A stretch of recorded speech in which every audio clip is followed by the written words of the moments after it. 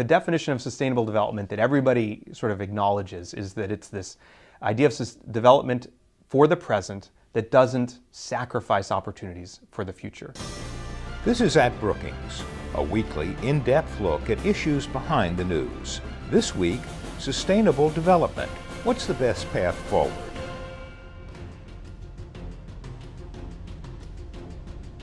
As the number of emerging economies increases, the urgency for sustainable development policies is rising as well.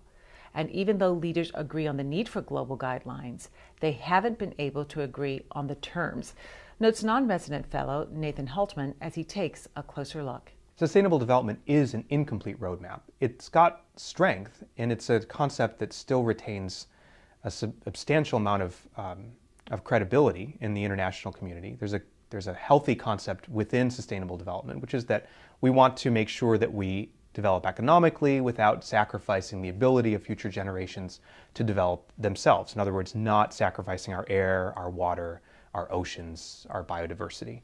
So that concept is, is completely healthy and it's, it's a great concept to, to think about as part of our roadmap. But it doesn't have some of the other elements that we need. And I think it's a mistake to focus exclusively on thinking about sustainable development as the only way to think about protecting the environment and encouraging economic growth at the same time. Well, Nathan, you just mentioned that there's some other elements to be considered when you're talking about sustainable development. What are those? What sustainable development really doesn't provide is it doesn't provide a way to integrate innovation and new technologies into the fabric of different countries' environmental and economic policies. And that's where I think we need to think more carefully about how we might, as an international community, as well as as a community of domestic or national governments, to embed the process of innovation more deeply, not only in the places that we think of as being innovative, you know, the sort of uh, Silicon Valleys of the world, or Mumbai, these kinds of places, Bangalore, but instead to think about innovation as a diverse concept. It's something that happens across the development context spectrum. So even in uh, you know, least developed countries, in emerging economies, and to think creatively about how we encourage the kinds of technological innovations that we know we're going to need to address the sustainability issues that are coming up uh, in the next 50 years. Nathan, a lot of emerging economies take issue with the constraints um, put upon them for environmental development. They feel that they should be able to develop unfettered, as the United States, uh, Britain, um, Germany, France have done for so many years. How does that factor into this issue of sustainable development? Many of the countries, again, diverse countries, emerging economies, least developed countries, certainly will acknowledge that there are environmental problems, not only globally, but even in their own countries. And that's a first step uh, to then acknowledge, yes, sustainable development is important.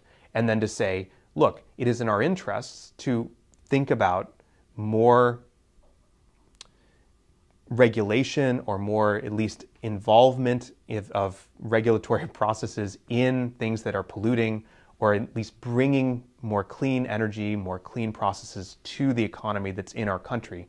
Some way of, of addressing that is something that each of the countries will often subscribe to. The real question is what do they subscribe to as a kind of international agreement or a kind of consensus document and that's something where it's been much harder recently. There are certain countries, in fact, some of the emerging economies were particularly uh, conscious of guarding their own domestic ability to act and to define what the problems were for themselves rather than have a international document define it for them. There is a cadre of world leaders that gets together every 20 years to really survey the landscape on uh, sustainable development. They just met in Rio and they issued a paper going forward, a paper that left you a bit underwhelmed. Why is that? The document that came out of the Rio Plus 20 meeting was fine. It reaffirmed sustainable development. It reaffirmed a number of other principles that had already been agreed on in previous meetings, but it didn't go very far toward establishing anything new. There were other aspects of the meeting, though, that might be viewed in a more positive light. so, number one, there certainly was the opportunity for a number of other organizations who were present at the meeting to release their own initiatives. And, and this is what some people have called the cloud of commitments. And in other words, nothing that came officially from the official negotiations, but organizations such as the multilateral development banks or individual countries or UNDP have all come and essentially offered voluntary commitments or voluntary initiatives. We call them voluntary, but they're, they're initiatives that those organizations have agreed to take on.